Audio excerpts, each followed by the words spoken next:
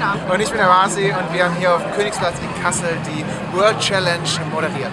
Ich fand den ganzen Tag heute super. Ich habe mich gefreut, dass die Sonne gescheint hat, dass hier so viele Leute vorbeigekommen sind.